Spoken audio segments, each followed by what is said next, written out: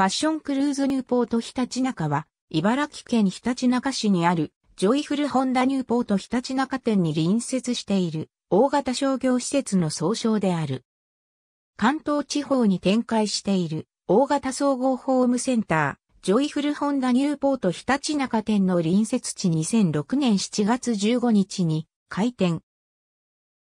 敷地面積は約22万平方メートルで日本有数規模のショッピングセンターであり、ジョイフルホンダが初めて手掛ける約100の専門店が集まった茨城県最大級のファミリー向け滞在型の複合ショッピングモールとして開業した。デベロッパーはジョイフルホンダだが、施設運営管理はオープン当初から株式会社ジオアカマツが受け負っている。館内にはファッション、インテリア、レストランの他に大型生活雑貨やスポーツ用品店、ジョイフルホンダ直営のペットショップなどがある。さらに敷地内にはユニクロ、赤ちゃん本舗、ココス、はま寿司、 TOHOシネマズなどが立地している。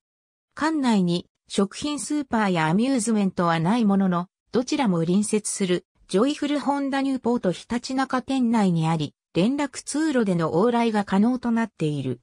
国営ひたち海浜公園に隣接しており、最寄りのインターチェンジも常陸那珂有料道路のひたち海浜公園インターチェンジとなる。ありがとうございます。